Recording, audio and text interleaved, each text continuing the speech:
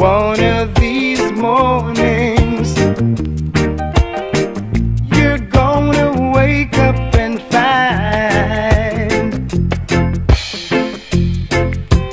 me at your doorstep. Yeah, yeah, yeah.